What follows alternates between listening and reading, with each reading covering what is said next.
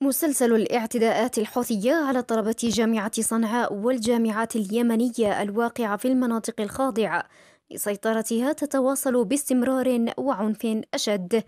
ومع خروج تظاهرة منددة بالحوثيين من جامعة صنعاء مطلع الشهر الجاري حولت الميليشيات الإمامية جامعة صنعاء إلى ثكنة عسكرية ومخابراتية خاصة بها لقمع أي نشاط طلابي محتمل. لم يقتصر الأمر على جامعة صنعاء فقط بل تواصلت الاعتقالات والخطف ومنع التعليم في عدة محافظات تتواجد بها كليات تابعة لجامعة صنعاء أو جامعات أخرى. في محافظة الجوف حيث تتقاسم السيطرة على المحافظة القوات الحكومية وميليشيا الحوثيين الإنقلابية. تمنع الميليشيات الطلبة في المناطق الخاضعة لها مثل المتون من التوجه إلى الكليات في مدينة الحزم المحررة بشكل تعسفي وقمعي.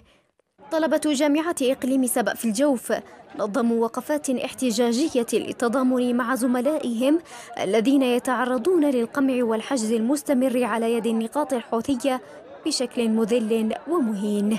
الطلاب المتضامنون يعرفون تماما أن منع الطلاب من التوجه للجامعات مقدمة لخطفهم إلى الجبهات للقتال من أجل السلالة وإعادتهم إلى مواطن الجهل والحرمان والعبودية.